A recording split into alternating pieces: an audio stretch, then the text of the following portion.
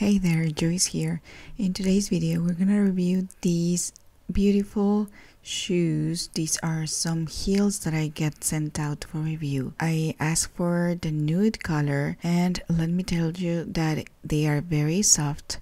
They their heels are 2 inches. Also they include some shoe insoles for you to adjust it for your own comfort. They have a padding design for your feet. They have a padded inner lining. The outsole has non-slip stripes which will help you to keep you stable and confident with each step.